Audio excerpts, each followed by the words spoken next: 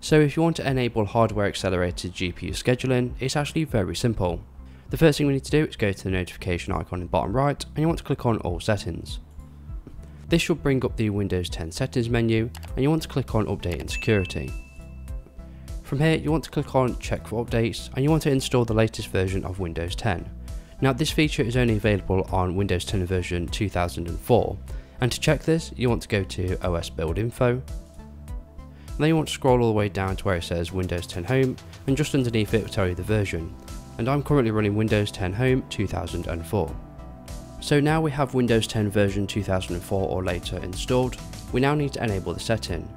And to do this you want to click on your Windows icon in the bottom left and you want to type in graphics settings and you want to click on the top result under system settings.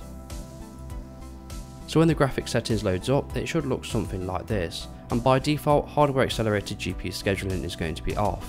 So you want to toggle this on and you will need to restart your computer for the changes to take effect.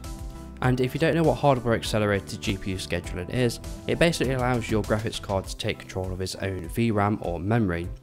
And this is going to be more effective on low end GPUs with more memory constraints. You should expect to see around 5 to 10% FPS increase in your games, however this is going to be different for everyone.